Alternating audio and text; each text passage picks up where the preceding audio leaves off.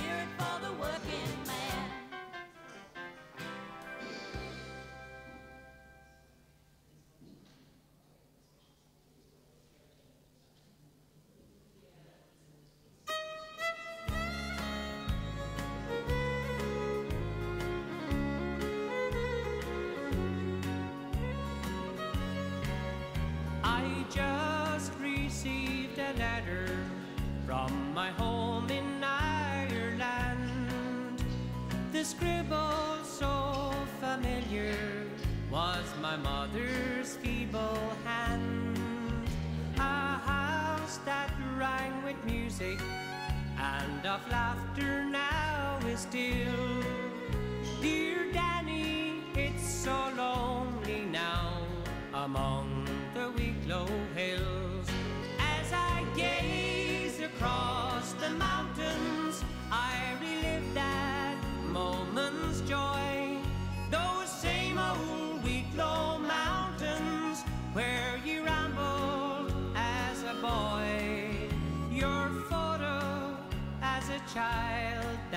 Pictures by your bedroom sill.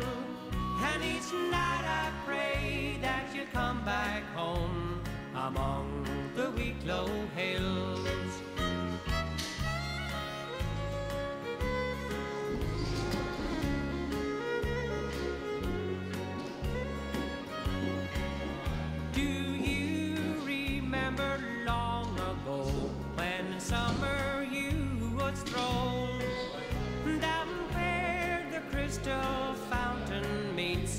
The slaty waters flow?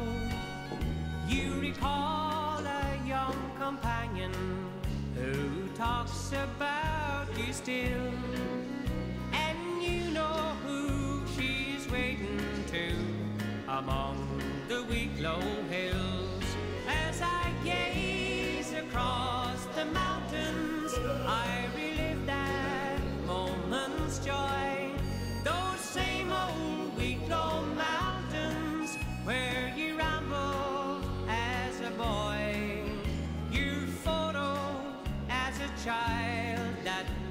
By your bedroom sill. And each night I pray that you come back home among the Wicklow hills. And each night I pray that you come back home among the Wicklow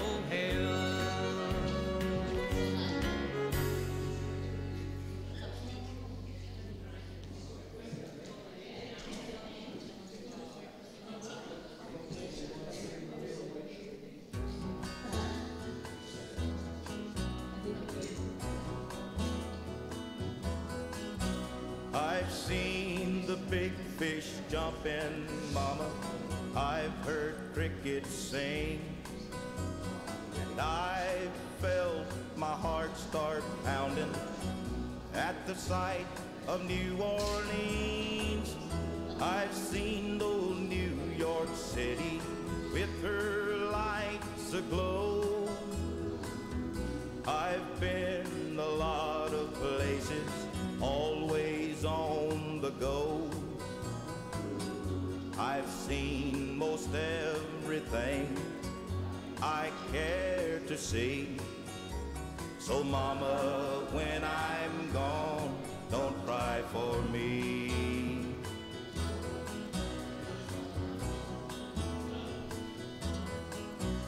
I've held a newborn baby, mama, in my arms so tight. And I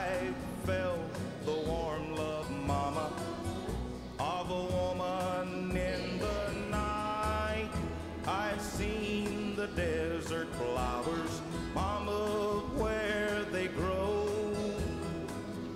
I've climbed the highest mountains covered with snow. I've seen most everything I care to see. So, Mama, when I'm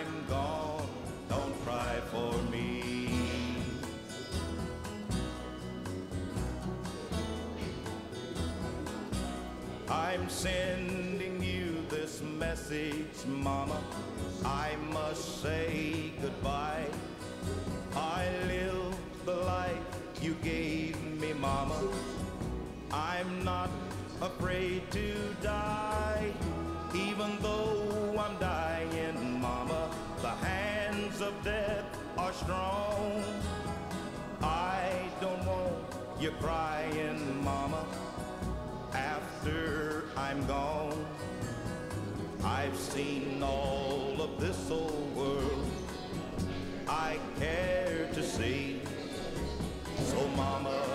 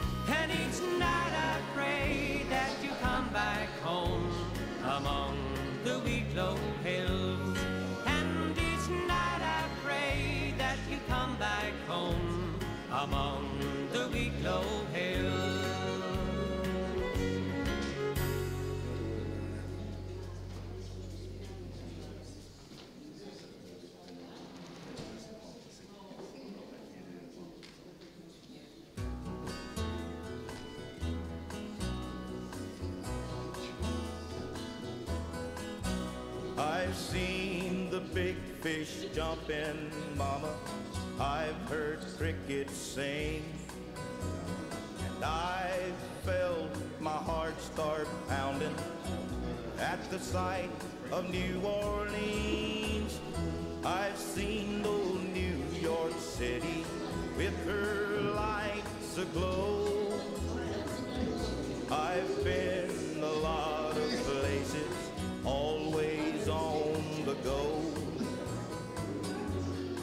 seen most everything I care to see.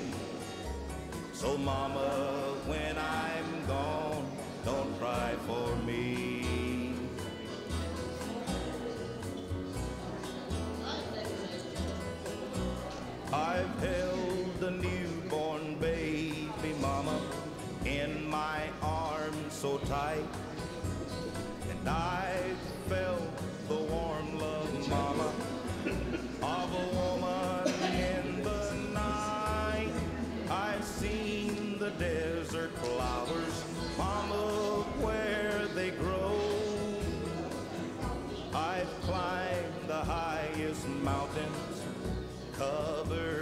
With snow. I've seen most everything I care to see. So mama, when I'm gone, don't cry for me.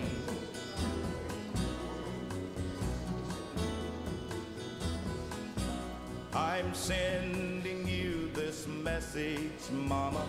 I must say goodbye. I live the life you gave me, Mama. I'm not afraid to die, even though I'm dying, Mama. The hands of death are strong. I don't want you crying, Mama after I'm gone. I've seen all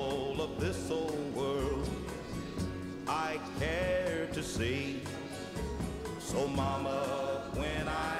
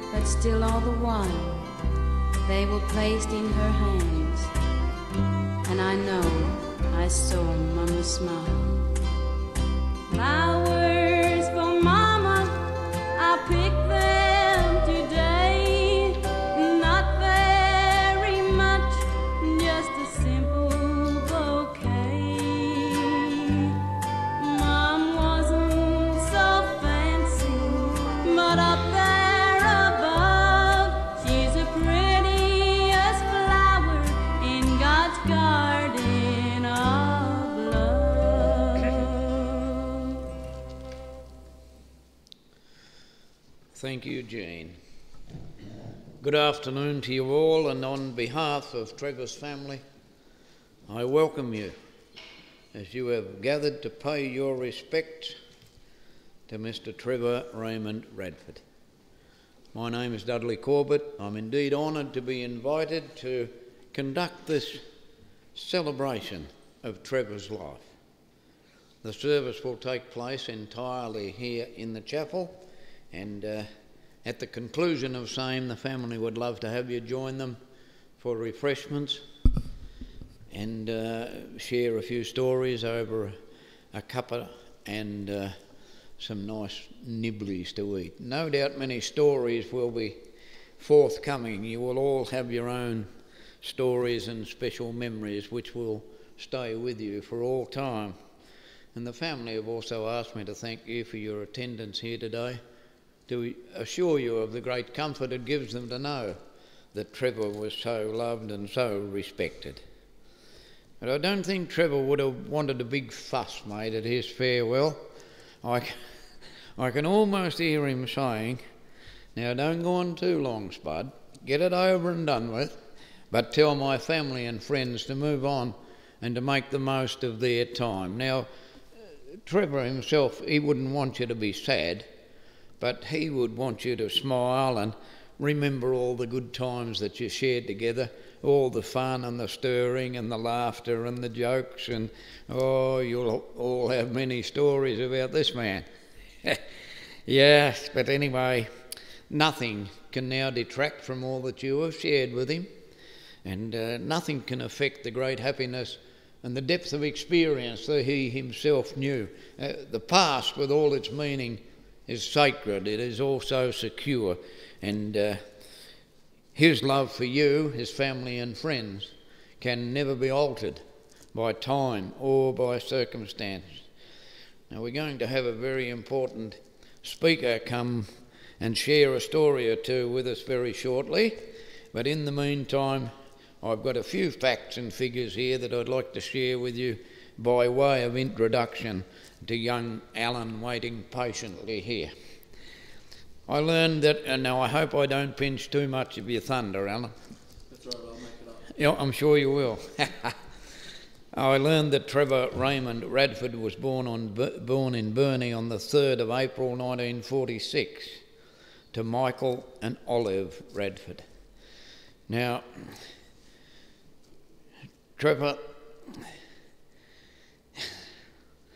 had brothers Bernie and Alfie and sister Lorna. And I knew Bernie and Alfie rather well from days at the Rihanna University, the College of Knowledge. His children were Anne, Donna, James, and Alan. Grandchildren, and they called him either Pop or Pop Radford. The grandchildren Gary and Sam, Josh, Aaron, Lee, Adrian, Elisa, Melanie, Charlie, and Cooper. And great grandchildren Indy, Octavia, Tyler, Sophie, Emma, Layla, Nixon, Marley, and Everly. Did I get them all? Oh, good. We didn't want to miss anyone. Yes, but uh, quite a collection there, and the no doubt the Radford name will continue for many years to come with those fine people bringing up the family tree. He loved his music, he loved his country music, and he loved a young lady by the name of Jean Stafford, who happened to be on the family tree, and also Charley Pride. And we heard before the service started today, we heard uh, some lovely music from June and from Charley Pride. And thank you, Trevor, for selecting the proper sort of music. Good man, a great judge. On Sunday mornings, he was known, though, to, uh, to play and sing. Well, I don't know whether he sang or not, but he played rather loudly the hymns of gold on Sunday morning. And he shared that music with two or three blocks of people in the near vicinity. yes, but it didn't worry him. He still shared his music with them. Hymns of gold on Sunday morning. When he was younger, he was a hunter and a fisherman. He loved the outdoor life, and uh, quite often the caravan went to the east coast. And there were some good times had down there, I believe, on the east coast. Yeah, I kept a lot of people in work in the hotel business, uh, so that's a good start. He followed Melbourne in the footy, and uh, he was an umpire's advisor, I'm told, and gave the umpies plenty of good advice when he watched the game. And when they made a mistake, he let them know. I don't think they took any notice of him, Alan, but yeah, but uh, yeah, he was. Uh, he loved his sport, loved his footy, and uh, the family would like to say a big thank you to Umina Park and uh, especially to Dr. Dow, who's been the family doctor, I believe, for about 50 years. So he uh, would know the family rather well. Oh, the camping times at Sulphur Creek, too, I nearly forgot that. Yes, there was. There was some uh, happy times shared out there at Sulphur Creek we used to call it Barwick's Point, but I don't know what the official name was. But yeah, so there were some great times there had by all. But to somebody now who knew him much better than I, his son Alan, and uh, he's going to come up for three quarters of an hour and talk to you about some about some of the things of a, a dearly loved father. Alan, it's all yours. Stay as long as you like. Thanks. He's just too kind, isn't he? So, we're here today to celebrate the life of Trevor Raymond Radford, loving husband of Heather, father of Anne, Donna, James, and Alan. Trevor was a strong believer that you get what, what you're willing to work for, and that for a hard day's work, you deserve a fair day's pay. And so that starts Trevor's working journey. Turning up to start at grade six, only to be told you're too big to go here anymore, and that you start with my husband working in the wood yards, said the school principal. She didn't want him there anymore. It was a bit, bit of trouble. So he began the long, varied working career. Over this time, he was a woodcutter, a butcher, concreter, who worked on the councillor, council, driving excavators, building the footpaths that we walk on today, building the original roads we still drive on now, and working as a mechanic, shopkeeper, and many, many more.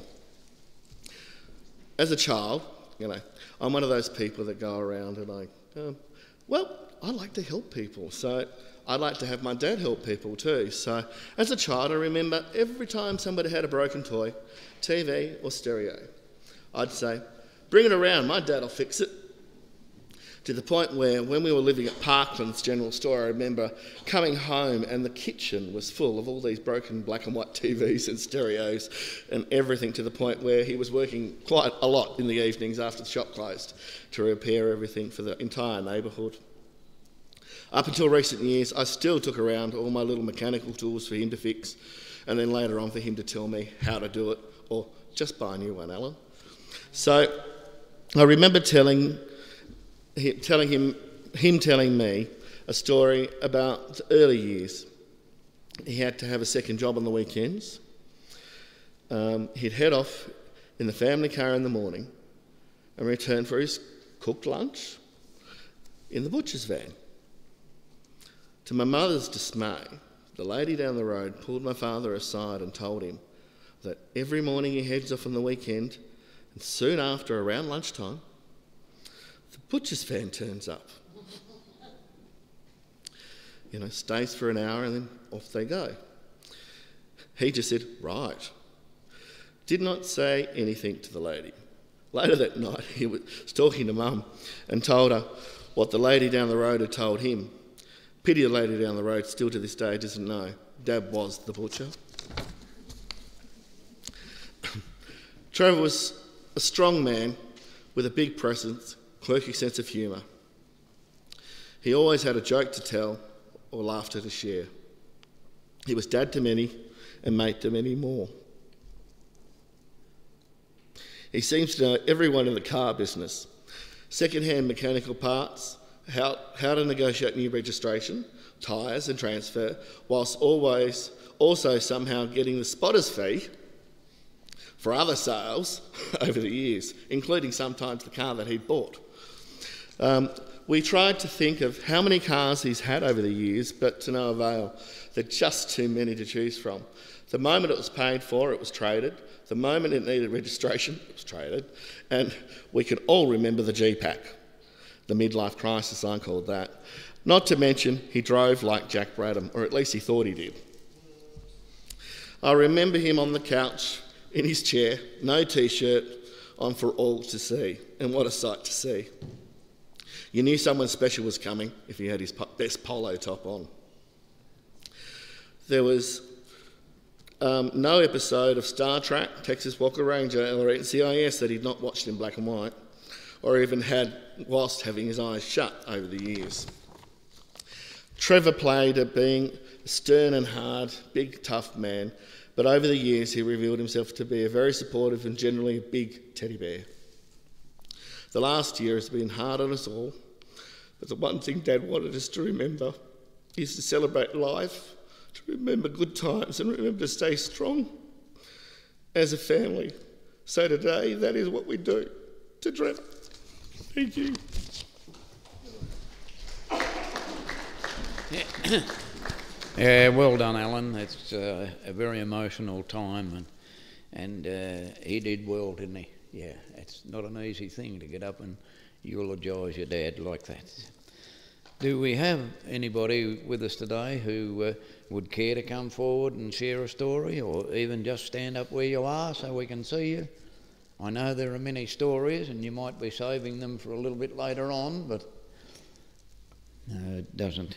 It doesn't look like you you want to share in public, but I think the uh, the stories will flow a little bit later on in certain places.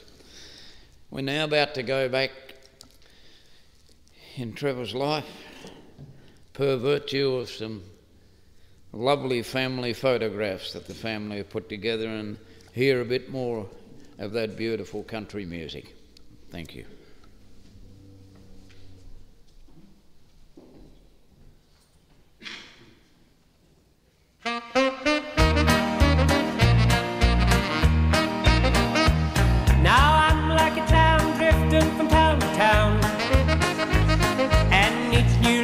Sends me on my way. And no one woman is ever gonna tie me down.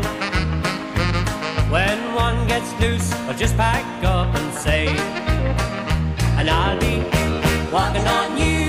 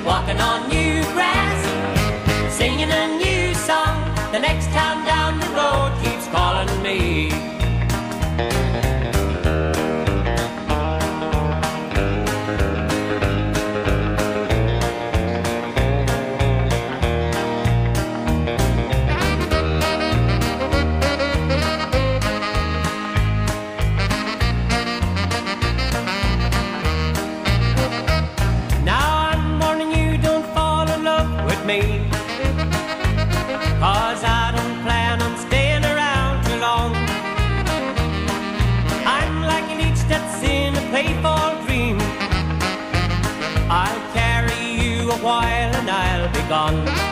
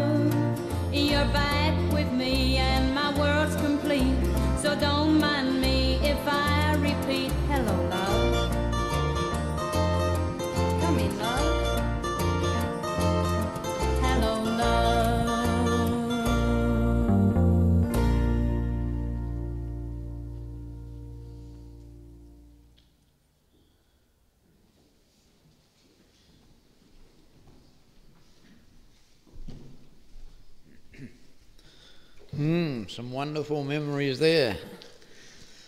And of course, pictures of some wonderful people. Yes, and a good time was being had by all, by the, by the look of things. So they ought to have been. And you were celebrating, uh, celebrating love and celebrating life, and that's what we're doing today. We're celebrating uh, the love and the life that this man shared with us today. So it's certainly a life worth celebrating too. I think that uh, the man himself would have said this When I come to the end of the road and the sun has set for me, I want no rites in a gloom filled room. Why cry for a soul set free? Miss me a little, but not too long, and not with your head bowed low. Remember the love that we once shared. Miss me, but let me go.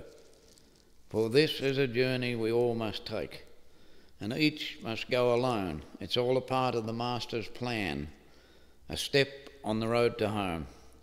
So when you are lonely and sick of heart, go to the friends we know.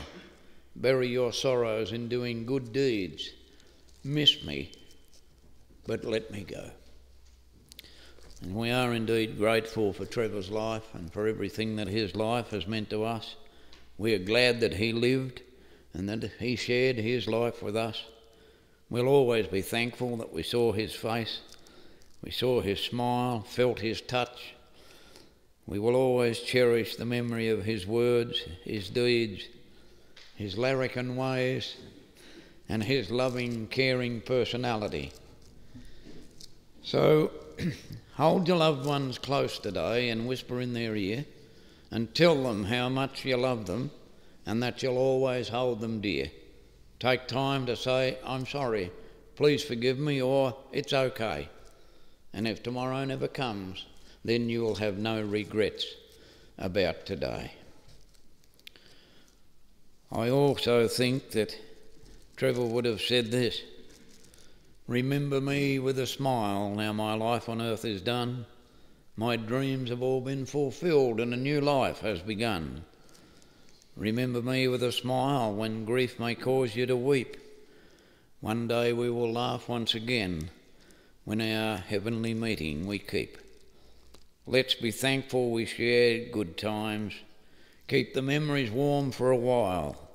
Let them bring peace to your hearts. And remember me with a smile. And I'm sure that you will remember our dear friend with many a smile. Of course, that's what he would have wanted.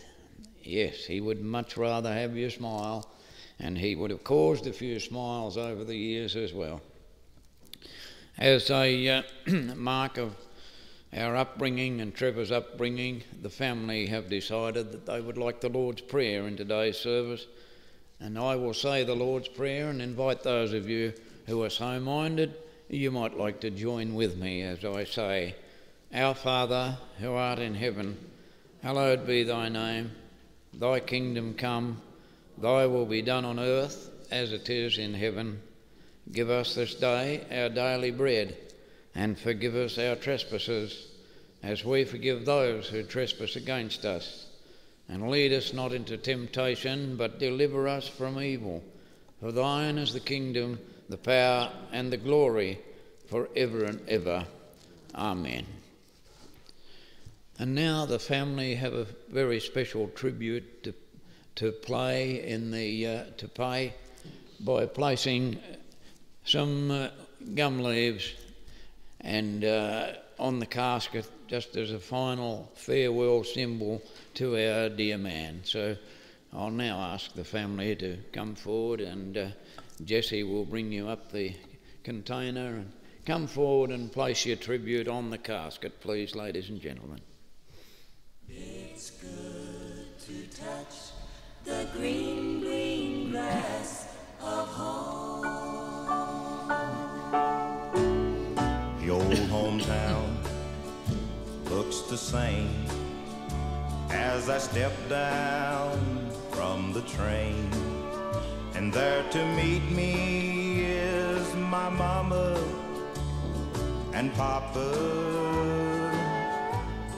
And down the road I look, and there runs Mary, hair of gold and lips like cherries. It's good to touch the green, green grass of home. Yes, they'll all come to meet me, arms are reaching, smiling sweetly.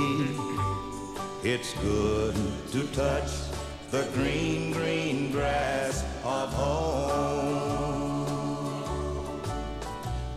The old house is still standing, though the paint is cracked and dry. And there's that old oak tree that I used to play on. And down the lane I walk with my sweet Mary, hair of gold and lips like cherries. It's good to touch the green, green grass of home.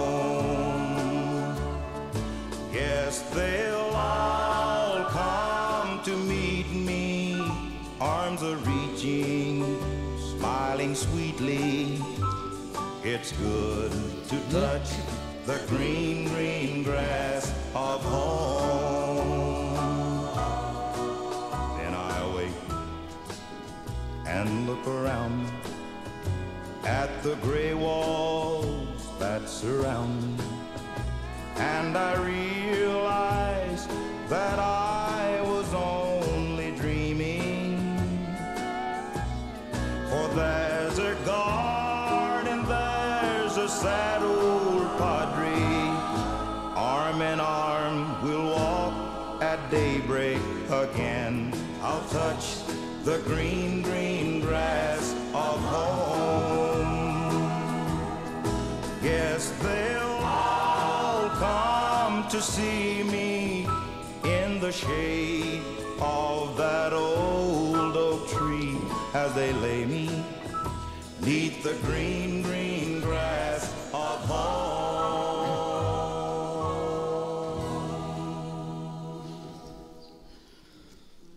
Well, thank you very much to family for that very moving tribute there, and Trevor would have loved that as well. So, yeah, well done. So, we have now reached that part of our service we call the committal, where we commit Trevor to the next stage of his journey. These then are the last rites in the natural life of Mr. Trevor Raymond Radford. We have met to pay tribute and to say farewell, and so tenderly and reverently we commit Trevor for cremation. Earth to earth, ashes to ashes, dust to dust. Grateful for the life that has been lived and for all that life has meant to us. We now leave Trevor in peace, and with the greatest of respect we bid him farewell. So, thus thinking of him, let us leave this place in quietness of spirit and live with concern for one another, resolved that we who live on and those who come after us shall have life and have it more abundantly as per Trevor's wishes. You were a good man to many people, Trevor. You left us with a lot of happy smiles and an amazing legacy. Gone but not forgotten, gone but never apart, for we are blessed with memories held deeply within our hearts. Thank you for many of those wonderful memories, Trevor. Farewell, and may you forever rest in peace. Thank you, ladies and gentlemen. Could I now invite you to stand as we start to take our farewell of our dear friend from this place?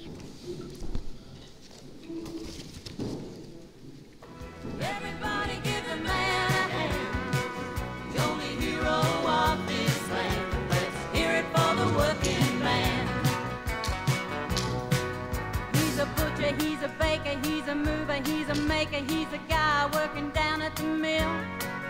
He's a plumber, he's a preacher, he's a trucker, he's a teacher, he's a guy that keeps a paying the bills. He's a fella that's a farmer and a barber on the corner. Nothing keeps a good man down. He can build it, he can back it, he can cook it, he